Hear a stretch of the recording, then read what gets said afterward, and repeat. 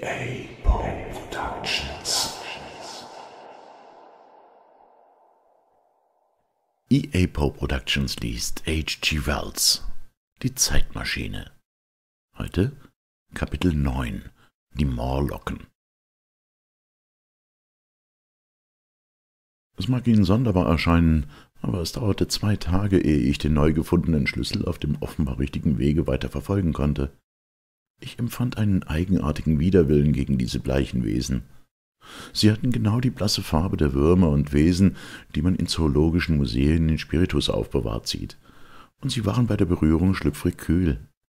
Vermutlich rührte mein Widerwillen zum großen Teil von dem sympathischen Einfluss der Eloi her, deren Ekel vor den Morlocken ich nun zu begreifen begann. Die nächste Nacht schlief ich nicht gut. Vermutlich war meine Gesundheit ein wenig in Unordnung. Mich bedrückten Zweifel und Verwirrung. Ein oder zweimal hatte ich eine Empfindung intensiver Furcht, für die ich keinen bestimmten Grund finden konnte. Ich entsinne mich, dass ich geräuschlos in die große Halle schlich, wo die kleinen Menschen im Mondlicht schliefen. Diese Nacht war Wiener unter ihnen, und dass ich mich in ihrer Gegenwart beruhigt fühlte. Mir fiel ein, dass in wenigen Tagen der Mond durch sein letztes Viertel gehen musste und die Nächte dunkler wurden und vielleicht würden dann die Erscheinungen dieser weißen Lemuren, dieses neuen Gewürms, das das alte ersetzt hatte, häufiger werden. Und an diesen Tagen hatte ich das rastlose Gefühl dessen, der sich um eine unvermeidliche Pflicht herumdrückt. Ich war überzeugt, dass ich die Zeitmaschine nur wiedererlangen konnte, wenn ich kühn in diese unterirdischen Geheimnisse eindrang. Und doch konnte ich dem Geheimnis nicht ins Gesicht sehen. Und wenn ich nur einen Gefährten gehabt hätte, dann wäre es anders gewesen aber ich war so furchtbar allein, und selbst in das Dunkel des Brunnens hinunterzusteigen fürchtete ich mich. Ich weiß nicht, ob Sie meine Empfindung verstehen werden, aber ich fühlte mich im Rücken nie ganz sicher. Vielleicht war es die Rastlosigkeit, diese Ungewissheit, was mich auf meinen Forschungsausflügen immer weiter ins Land trieb. Als ich südwestlich auf das steigende Land zuging, das jetzt Campwood hieß, in der Richtung auf das Banstead des 19. Jahrhunderts, bemerkte ich sehr fern einen gewaltigen grünen Bau von anderem Charakter als alles, was ich bisher gesehen hatte. Er war größer als der größte der Paläste und Trümmerhaufen, die ich kannte, und die Fassade sah orientalisch aus. Die Oberfläche hatte den Glanz wie auch die blassgrüne Färbung, eine Art bläulichen Grüns, einer gewissen Art Porzellan. Dieser Unterschied im Aussehen deutete auf einen Unterschied im Gebrauch, und ich hatte Lust, weiter vorzudringen und ihn zu erforschen aber der Tag neigte sich, und ich hatte den Palast nach einem langen und ermüdenden Umweg zu sehen bekommen. So beschloss ich, das Abenteuer auf den folgenden Tag zu verschieben, und ich kehrte zum Willkommen und zu den Liebkosungen der kleinen Wiener zurück. Aber am nächsten Morgen sah ich klar genug, dass meine Neugier in Betreff des grünen Porzellanpalastes nur eine Selbsttäuschung war, um ein Erlebnis, das ich fürchtete, noch einen Tag zu umgehen.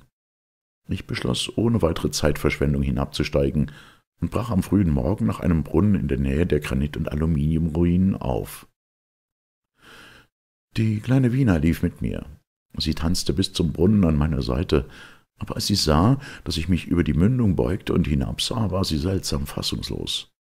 Adieu, kleine Wiener, sagte ich und küsste sie, und dann stellte ich sie nieder und begann nach den Kletterhaken über die Brustwehr zu tasten.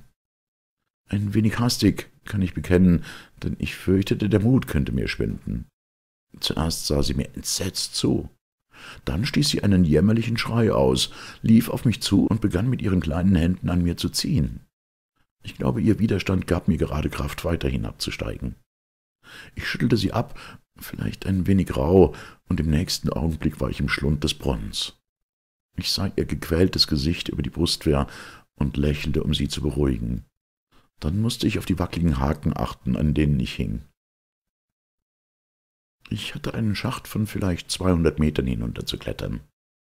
Der Abstieg geschah mittels Stangen aus Metall, die in der Brunnenwand staken, und da sie für die Bedürfnisse eines viel kleineren und leichteren Geschöpfes bestimmt waren, so ermüdete mich das Klettern bald und ich bekam Krämpfe. Und es war keine einfache Ermüdung. Eine der Stangen bog sich plötzlich unter meiner Last und warf mich fast in die Tiefe hinab. Einen Moment hing ich an einer Hand, und nach dieser Erfahrung wagte ich nicht, wieder auszuruhen. Obgleich mich Arme und Rücken bald scharf schmerzten, kletterte ich doch mit der raschestmöglichen Bewegung weiter.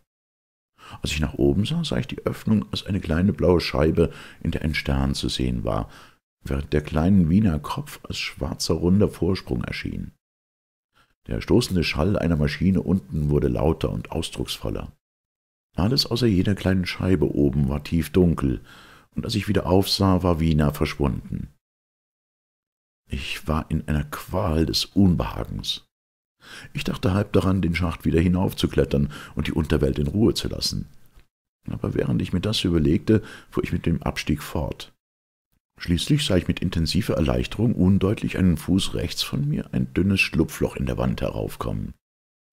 Ich schwang mich hinein und sah, dass es die Öffnung eines schmalen Horizontaltunnels war, in den ich mich legen und ausruhen konnte. Es war nicht zu früh. Meine Arme schmerzten mich, der Rücken war steif, und ich zitterte von der langen Angst vor einem Fall. Und dann hatte die ununterbrochene Dunkelheit eine schlimme Wirkung auf meine Augen. Die Luft war von Schwirren und Stoßen der Maschine erfüllt, die in den Schacht Luft hinunterpumpte. Ich weiß nicht, wie lange ich liegen blieb. Mich störte eine weiche Hand auf, die mein Gesicht berührte. Ich fuhr im Dunkel auf, griff nach meinen Streichhölzern, entzündete eins und sah drei gebückte weiße Geschöpfe, ähnlich dem, das ich über der Erde in der Ruine gesehen hatte, eilig vor dem Lichte fliehen. Da sie hier unten in einem Dunkel lebten, das mir undurchdringlich schien, so waren ihre Augen genau wie die Pupillen der Tiefseefische abnorm groß und empfindlich, und sie reflektierten auch das Licht ebenso. Ich zweifle nicht, dass sie mich in jener strahlenlosen Finsternis sehen konnten, und sie schienen sich, abgesehen von dem Licht, durchaus nicht vor mir zu fürchten. Aber sobald ich ein Zündholz anstrich, um sie zu sehen, flohen sie unverzüglich, und sie verschwanden in dunkle Kanäle und Tunnels, aus denen mich ihre Augen auf die unheimlichste Art und Weise anglänzten. Ich versuchte sie anzurufen, aber ihre Sprache war offenbar anders als die der Oberweltmenschen. So blieb ich also meinen eigenen hilflosen Bemühungen überlassen, und noch jetzt dachte ich an Flucht vor der Erforschung. Aber ich sagte mir, jetzt bin ich drin, und als ich mich den Tunnel entlang tastete, merkte ich, dass der Maschinenlärm lauter wurde. Alsbald wichen die Wände von mir fort, und ich kam auf einen weiten, offenen Platz, und als ich ein zweites Zündholz anstrich, sah ich, dass ich in eine weite, überwölbte Halle getreten war, die sich hinter dem Bereich meines Lichtes wieder ins tiefste Dunkel streckte. Was ich von ihr sah, war so viel, wie man bei einem brennenden Streichholz sehen kann. Meine Erinnerung ist natürlich unbestimmt. Große Formen wie riesige Maschinen erhoben sich aus dem Dunkel und warfen groteske schwarze Schatten, in die gespenstische Morlocken vor dem Lichtscheine flohen. Es war dort nebenbei sehr heiß und drückend, und ein matter Geruch von frisch vergossenem Blut lag in der Luft. Eine Strecke in der Zentralhalle hinunter stand ein kleiner Tisch aus weißem Metall, der scheinbar mit einem Mahl bedeckt war. Die Morlocken waren auf jeden Fall Fleischesser. Ich entsinne mich, dass ich mich gleich fragte, welches große Tier überlebt haben könnte, um die rote Keule zu liefern, die ich sah. Alles war sehr undeutlich. Der schwere Geruch, die großen, unklaren Formen, die ekelhaften Gestalten, die in dem Schatten lauerten und nur auf das Dunkel warteten, um wieder zu mir zu kommen. Dann brannte das Streichholz ab, senkte mir die Finger und fiel, ein sich ringelnder roter Fleck in der Schwärze. Ich habe seither daran gedacht, wie besonders schlecht ich für ein solches Unternehmen ausgerüstet war. Als ich mich mit der Zeitmaschine aufgemacht hatte, hatte ich es in der absurden Annahme getan, die Menschen der Zukunft würden uns in allen Vorrichtungen unendlich voraus sein. Ich war ohne Waffen, ohne Medizin, ohne irgendetwas zu rauchen, zu Zeiten entbehrte ich Tabak furchtbar, selbst ohne genug Streichhölzer gekommen. Wenn ich nur an einen Kodak gedacht hätte. Ich hätte den Blick in die Unterwelt in einer Sekunde aufnehmen und in Muße untersuchen können. Aber so stand ich nur mit den Waffen und Kräften da, die mir die Natur verliehen hatte, mit Händen, Füßen und Zähnen. Die und vier Sicherheitszündhälser blieben mir noch. Ich fürchtete mich, zwischen all diesen Maschinen im Dunkel vorzudringen, und erst mit meinem letzten Lichtschein entdeckte ich, dass mein Vorrat an Streichhölzern bald erschöpft war. Es war mir bis zu diesem Moment nie eingefallen, dass ich mit ihnen sparen müsste, und ich hatte fast die halbe Schachtel damit verschwendet, dass ich die Oberweltler erstaunte, denen Feuer etwas Neues war. Jetzt hatte ich, wie gesagt, noch vier, und so wie ich im Dunkel stand, berührte eine Hand meine, dünne Finger tasteten mir übers Gesicht, und ich empfand einen eigentümlichen, unangenehmen Geruch. Ich meinte, ich hörte das Atmen von einer Herde dieser furchtbaren kleinen Wesen um mich. Ich fühlte, wie man mir die Streichholzschachtel sanft aus der Hand lösen wollte, und andere Hände zogen mir hinten an meinen Kleidern. Das Gefühl, dass diese unsichtbaren Geschöpfe mich untersuchten, war mir unbeschreiblich unangenehm. Mir wurde im Dunkel sehr lebhaft klar, dass ich gar nichts von ihrer Art zu denken und zu handeln wusste. Ich schrie sie an, so laut ich konnte. Sie fuhren auseinander, und dann konnte ich fühlen, wie sie sich mir wieder näherten. Sie packten mich kühner und flüsterten sich sonderbare Laute zu. Mir schauderte heftig, und ich schrie noch einmal, ziemlich misstönend. Diesmal waren sie nicht so ernstlich erschreckt, und sie stießen einen wunderlichen, lachenden Laut aus, als sie zu mir zurückkehrten. Ich will gestehen, ich hatte furchtbare Angst. Ich beschloss noch ein Streichholz anzuzünden und unter dem Schutz seines Scheins zu fliehen. Ich tat es, und indem ich das Flackern durch ein Stück Papier aus meiner Tasche verlängerte, vollzog sich mein Rückzug bis zu dem engen Tunnel. Aber kaum hatte ich ihn betreten, als mein Licht ausgeblasen wurde, und in der Finsternis hörte ich die Morlocken wie Wind unter Blättern rascheln und wie Regen klatschen, als sie mir nacheilten. Im Nu war ich von vielen Händen gepackt, und es war kein Zweifel, sie versuchten mich zurückzuziehen. Ich strich ein neues Streichholz an und schwenkte es vor ihren geblendeten Gesichtern. Sie können sich kaum vorstellen, wie ekelhaft unmenschlich sie aussahen, diese blassen, kinnlosen Gesichter und großen, lidlosen, rötlich-grauen Augen. Und dass sie so in ihrer Blindheit und Verwirrung starrten. Aber ich wartete nicht, um zu schauen, sagte ich ihnen. Ich wich wieder zurück, und als mein zweites Streichholz zu Ende war, strich ich mein drittes an. Es war fast abgebrannt, als ich die Öffnung in den Schacht erreichte. Ich legte mich am Rande nieder, denn der Stoß der großen Pumpe unten machte mir schwindlig.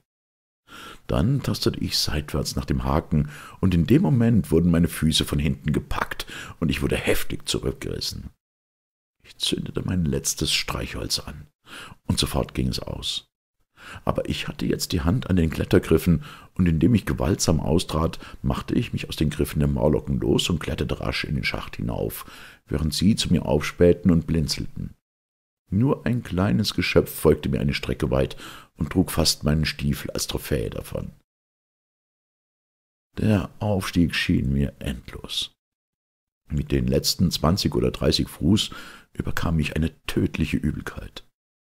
Es machte mir größte Schwierigkeit, nicht den Halt zu verlieren. Die letzten paar Meter waren ein furchtbarer Kampf gegen diese Schwäche. Mehrere Male schwamm mir der Kopf, und ich hatte alle Empfindungen des Fallens. Schließlich aber kam ich irgendwie über den Brunnenrand und stolperte aus der Ruine in den blendenden Sonnenschein. Ich fiel aufs Gesicht. Selbst der Boden roch frisch und sauber. Dann erinnerte ich mich, wie Wiener mir Hände und Ohren küsste und ich die Stimme anderer unter den Eloi hörte. Darauf war ich eine Zeit lang ohne Besinnung. EA